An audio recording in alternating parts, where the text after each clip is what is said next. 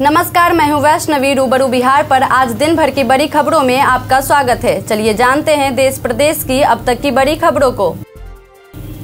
बिहार में मंत्रिमंडल के विस्तार होते ही नीतीश सरकार ने बिहार लोक सेवा आयोग के अध्यक्ष की नियुक्ति कर दी है। सरकार ने उन्नीस सौ बानवे बैच के वरीय आईएएस अधिकारी रवि मनु भाई परमार को बीपीएससी का नया अध्यक्ष बनाया है। सामान्य प्रशासन विभाग ने इसके लिए अधिसूचना भी जारी कर दी है। भारत ने नागरिकता संशोधन अधिनियम पर अमेरिका की टिप्पणी का जवाब दिया है। भारतीय विदेश मंत्रालय ने कहा, सीएए भारत का आंतरिक मामला है। सीएए लागू होने पर अमेरिका का बयान गलत और अनुचित है। भारतीय विदेश मंत्रालय का ये जवाब अमेरिकी विदेश विभाग के उस बयान पर आया, जिसमें कहा गया था कि हम 11 मार्च को नागरिकता संशोधन अधिनियम की अधिसूचना को लेकर चिंतित हैं। बिहार के चर्चित यूट्यूबर मनीष कश्यप ने भी चुनावी मैदान में उतरने की घोषणा कर दी है। इस बीच जेएनयू विवाद से निकले कांग्रेस नेता कन्हैया कुमार को लेकर मनीष कश्यप ने बड़ा बयान दिया है। यूट्यूबर ने दावा किया है कि कांग्रेस पार्टी ने कन्हैया कुमार पर बिहार में नो एंट्री लगा दिया है। विदेश मंत्रालय ने शुक्रवार को बताया है कि मालदीव में भारतीय सैन्य अफसरों के पहले दल को तकनीकी अफसरों से बदला जा चुका है। विदेश मंत्रालय के प्रवक्ता रणधीर जायसवाल ने अपनी साप्ताहिक ब्रीफिंग में बताया कि एएलएच हेलीकॉप्टर का संचालन कर रहे भारतीय सैनिकों के पहले दल की अदला बदली पूरी हो गई है। बिहार का मौसम फिर एक बार करवट ले सकता है। मौसम विभाग केंद्र के पूर्वानुमान के अनुसार उत्तरी उड़ीसा में समुद्र तल से 0.9 किलोमीटर ऊपर एक चक्रवाती परिसंचरण बना हुआ है। इसके कारण 19 और 20 मार्च को पटना समेत राज्य के दक्षिण, मध्य और पूर्वी क्षेत्र में हल्की से मध्यम बारिश होने के आसार हैं। वहीं शुक्रवार को पटना के अधिकतम तापमान में 0.4 डिग्री सेल्सियस की वृद्धि दर्ज की गई है। देहरादून, लखनऊ, देहरादून वंदे भारत एक्सप्रेस का संचालन 26 मार्च से नियमित होगा। सोमवार को छोड़कर यह सेमी हाई स्पीड ट्रेन सप्ताह में छह दिन चलेगी। शुक्रवार को रेलवे ने ट्रेन का नंबर और समय सारणी जारी कर दी। 20 मार्च से वंदे भारत एक्सप्रेस के टिकटों की ऑनलाइन बुकिंग भी शुरू हो जाएगी। सुल्तानगंज में गंगा नदी के उत्तरायण बहेगी। अभी गंगा नदी अजगवीनाथ मंदिर से दूर बह रही है। 20 साल पहले तक गंगा नदी सुल्तानगंज के करीब से होकर उत्तर की ओर बहती थी। फिर से गंगा नदी को सुल्तानगंज के करीब लाया जाएगा। इसके लिए गंगा नदी में भरी गाद को निकाला जाएगा। राज्य सरकार की कैबिनेट से मंजूरी मिल गई है। देश में नागरिकता संशोधन कानून के लागू होने के बाद इसे लेकर चर्चा छिड़ गई है। विपक्षी पार्टियों की ओर से तरह तरह के आरोप लगाए जा रहे हैं। दूसरी ओर सरकार का कहना है कि इससे किसी की नागरिकता नहीं ली जाएगी। इस कानून में ऐसा कोई प्रावधान नहीं है। नीतीश सरकार ने राज्य में 20 सूत्री कार्यान्वयन की समिति का ऐलान कर दिया है। सीएम नीतीश इसके अध्यक्ष और सम्राट चौधरी कार्यकारी अध्यक्ष होंगे। इसमें आरजेडी और कांग्रेस के बागी विधायकों को जगह मिली है। भारत के प्रधानमंत्री नरेंद्र मोदी ने लोकसभा चुनाव की घोषणा की पूर्व संध्या पर देश के सभी नागरिकों के लिए एक ओपन लेटर लिखा। इसमें अनुच्छेद 370 को निरस्त करना और जीएसटी को शामिल किया गया है। उन्होंने लेटर के माध्यम से लोगों को आभार प्रकट किया। उन्होंने विकसित भारत या विकसित भारत के संकल्प को पूरा करने में मदद करने के लिए सुझाव भी मांगे हैं और बताया कि लोगों के साथ उनकी साझेदारी को पूरा होने में 10 साल होने वाले हैं। बिहार के भागलपुर और राजगीर में सरकार नए हवाई अड्डे बनाएगी। भागलपुर में मौजूदा हवाई अड्डे को स्थानांतरित कर 6000 फीट की लंबाई का रनवे और एक टर्मिनल भवन बनाया जाएगा। वहीं राजगीर में भी 6000 फीट का रनवे होगा, जिसके लिए ज़मीन चिन्हित कर निर्माण की सैद्धांतिक सहमति नीतीश कैबिनेट ने दे दी है। इसके साथ ही राज्य के प्रमुख शहरों के आसपास नए सैटेलाइट टाउनशिप, ग्रीनफील्ड टाउनशिप विकसित किए जाएँगे। ये प्रस्ताव भी मंत्रिमंडल ने स्वीकृत किए हैं। भारत ने संयुक्त राष्ट्र में सभी प्रकार के धार्मिक भय की कड़ी निंदा की है। यूएन ने भारत की प्रतिनिधि रुचिरा कंबोज ने कहा, चाहे यहूदी विरोधी भावना हो, ईसाई धर्म का भय हो, या इस्लामोफोबिया हो, सभी के खिलाफ भारत कड़ाई के साथ खड़ा है। रुचिरा ने कहा, हिंदू, बौद्ध और सिख विरोधी भावनाएँ बढ़ी हैं। मठ मंदिरों और गुरुद्वारों पर हो रहे हमले इनके उदाहरण हैं। संयुक्त राष्ट्र में इस्लामोफोबिया से निपटने के उपाय पर प्रस्ताव पारित होने के बाद रुचिरा कंबोज बोल रही थी। पीएम मोदी ने राजद सुप्रीमो लालू यादव को आड़े हाथों लिया है।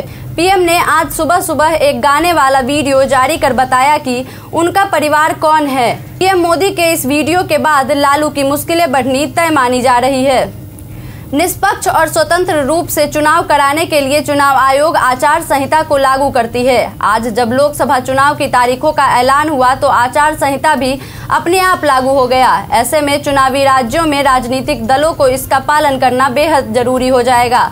इसके कुछ नियम होते हैं, जो कि पूरे चुनावी प्रक्रिया के दौरान भाजपा, कांग्रेस और अन्य पार्टियों के दलों को मानने पड़ते हैं। आचार संहिता चुनाव खत्म होने तक लागू रहते हैं। अभिनेता अमिताभ बच्चन ने शुक्रवार को खराब स्वास्थ्य की खबरों को फेक न्यूज़ कहकर खारिज कर दिया। इसके बाद उनके अस्पताल में भर्ती होने की अफवाहों पर विराम लग गया। इससे पहले अमिताभ बच्चन के पैर में खून का थक्का जमने या धमनी अवरुद्ध होने के कारण एंजियोप्लास्टी किए जाने से जुड़ी खबरें मीडिया में आने के बाद शुक्रवार को उनके शुभ चिंतकों व प्रशंसकों ने इंटरनेट मीडिया मंचों पर चिंता व्यक्त की थी। बिहार लोक सेवा आयोग के द्वारा शुक्रवार को ली गई शिक्षक नियुक्ति परीक्षा का पेपर लीक होने की आशंका जताई जा रही है। बिहार के पूर्व उप मुख्यमंत्री तेजस्वी यादव ने नीतीश सरकार पर हमला बोला है। उन्होंने सरकार से सवाल पूछते हुए कहा कि तीसरे चरण की बीपीएससी शिक्षक नियुक्ति परीक्षा में पेपर लीक के कारण चार लाख से अधिक अभ्यर्थियों को परेशानी हुई है। आखिर ऐसा क्यों हुआ? मद्रास हाईकोर्ट ने आरएसएस से जुड़े संगठन सेवा भारती के खिलाफ अपमानजनक टिप्पणी करने के आरोप में हाल ही में एक यूट्यूबर पर 50 लाख का जुर्माना बतौर हरजाना ठोका है। इसके साथ ही अदालत ने अपने फैसले में कहा है कि अदालत ने आँखों पर पट्टी नहीं बाँध रखी है और न ही आँख बंद कर कर रह सकती है। बिहार में महागठबंधन के घटक दलों में राजद सबसे ज़्यादा 28 उम्मीदवार लोकसभा चुनाव में उतारेगा। राजद ने सर्वाधिक 26 उम्मीदवार वर्ष 2004 के लोकसभा चुनाव में उतारे थे, जब राजद को 22 सीटों पर जीत मिली थी। 20 वर्षों के बाद राजद अपनी क्षमता का अधिकतम उपयोग चुनाव मैदान में करने को तैयार है।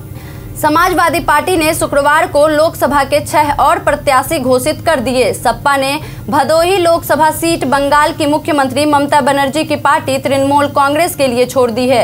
छह प्रत्याशियों में पाँच दलित, व एक जाट को टिकट दिया गया है। सपा ने नगीना लोकसभा सीट पर भी अपना प्रत्याशी घोषित कर दिया है। पहले इस सीट पर भीम आर्मी के मुखिया चंद्रशेखर आज़ाद को टिकट देने की चर्चा हो रही थी।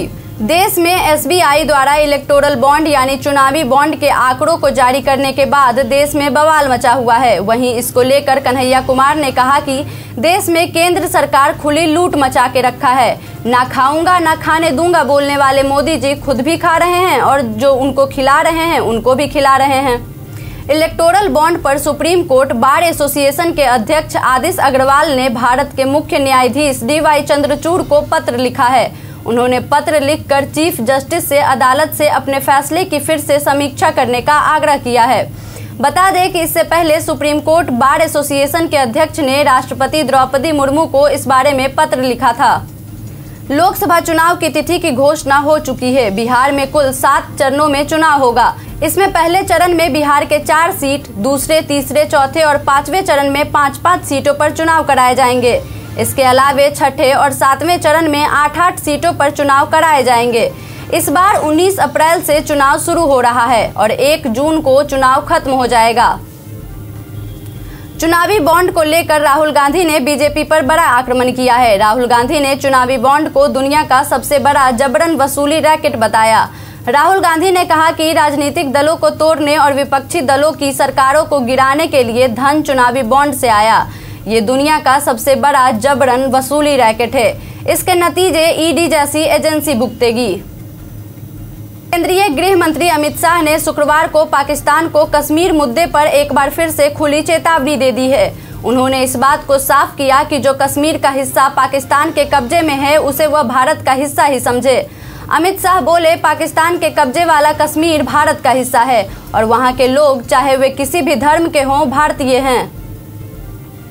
पर्व त्योहार पर अक्सर रेलवे की ओर से स्पेशल ट्रेनें चलाई जाती है। एक बार फिर होली को लेकर स्पेशल ट्रेनों के चलाने का रेलवे ने निर्णय ले लिया है। होली स्पेशल के अलावा कई और स्पेशल ट्रेनें बिहार के लिए चलने वाली हैं। पूर्व मध्य रेल के सीपीआरओ वीरेंद्र कुमार ने इस संबंध में जानकारी दी है। कहा है कि स्पेशल ट्रेनों की संख्या अभी और बढ़ाई जाएगी। बसपा, सपा व कांग्रेस के कई नेता शुक्रवार को भाजपा में शामिल हुए। इनमें दो पूर्व राज्य मंत्रियों सहित छह पूर्व विधायक भी शामिल हैं। वहीं मायावती सरकार में चिकित्सा व स्वास्थ्य मंत्री अनंत मिश्र उर्फ़ अंटू भी भाजपा प्रदेश कार्यालय में आयोजित सदस्यता ग्रहण कार्यक्रम के दौरान सभागार में मौजूद थे। लेकिन वह अचानक उठकर चले गए। अंटू मायावती सरकार में हुए एनआरएचएम घोटाले में आरोपित हुए थे। आईपीएल 2024 की शुरुआत 22 मार्च से होने जा रही है। यह इंडियन प्रीमियर लीग का सत्रहवा सीज़न है। आईपीएल के आधिकारिक प्रसारणकर्ता स्टार स्पोर्ट्स ने आगामी सीज़न के लिए हिंदी और अंग्रेज़ी के टीवी कमेंट्री पैनल का ऐलान कर दिया है। कमेंट्री पैनल में सुनील गवास्कर, ब्रायन लारा, हरभजन सिंह समेत अनेक पूर्व दिग्गज क्रिकेटर हैं। वहीं ऑस्ट्रेलिया के अनुभवी बल्लेबाज स्टीव स्मिथ भी कमेंट्री करते हुए नज़र आएँगे। व्हाट्सएप आज के समय में हमारे लिए ज़रूरी माध्यम बन चुका है। कंपनी समय समय पर यूज़र्स के लिए नए फीचर्स लाती रहती है। इसी कड़ी में व्हाट्सएप ने एक नया फीचर दिया है, जो कि बेहद ही खास है। व्हाट्सएप अपने यूज़र्स के लिए एक बेहतरीन फीचर लेकर आया है, जिसमें कंपनी ने अब प्रोफ़ाइल फ़ोटो के स्क्रीनशॉट को ब्लॉक कर दिया है। यानी अब कोई भी आपकी प्रोफ़ाइल फ़ोटो का स्क्रीनशॉट नहीं ले पाएगा। चुनाव के पहले और नतीजे आने के बाद ईवीएम को लेकर फैलाए जाने वाले झूठ को लेकर निर्वाचन आयोग के साथ सुप्रीम कोर्ट भी सख्त है। सुप्रीम कोर्ट ने शुक्रवार को भी ईवीएम से जुड़े दो ऐसे ही मामलों से जुड़ी याचिकाओं को न सिर्फ़ खारिज की बल्कि एक याचिकाकर्ता पर जुर्माना भी लगाया है। यह, सभी याचिकाएँ ईवीएम की चोरी गड़बड़ी और कमियों से जुड़ी थी। हालाँकि इसे लेकर कोई सबूत पेश नहीं किए गए थे। अब बढ़ते हैं आज के सवाल की ओर। आज का सवाल है, आपका पसंदीदा सोशल मीडिया प्लेटफॉर्म कौन सा है? आप अपना जवाब हमें हमारे कमेंट सेक्शन में लिखकर ज़रूर बताएँ।